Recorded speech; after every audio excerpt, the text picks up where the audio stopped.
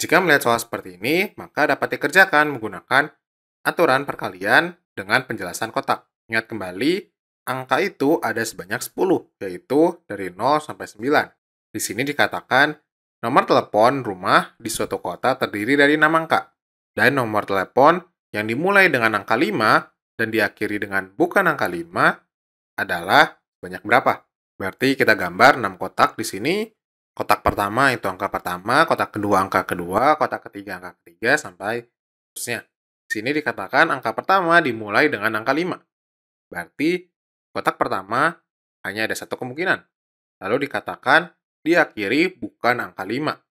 Berarti karena kita punya angka 0 sampai 9 dan angka terakhir itu bukan angka 5, berarti kita cuma punya 9 angka, yaitu 0 sampai 9 kecuali 5. Berarti di kotak terakhir kita tulis 9, karena ada 9 cara.